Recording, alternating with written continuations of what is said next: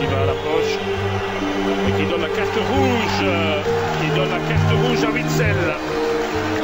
Faudra revoir la phase, c'était assez confus. On va revoir maintenant. Regardez Witzel. Alors, c'est Vasilevski qui arrive et marche sur le pied.